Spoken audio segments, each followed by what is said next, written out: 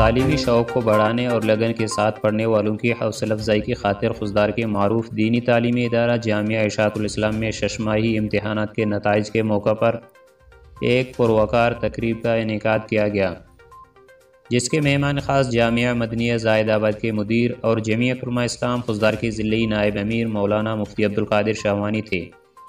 उनके अलावा जामिया के इस मौलाना सनाउल्ला हैदरी, मौलाना अब्दुलहक नक्शबंदी कारी सफ़ील्ला रोदिनी, मौली सद्दाम हुसैन, कारी अब्दुलरजाक कारी रियाज अहमद व दीगर मौजूद थे।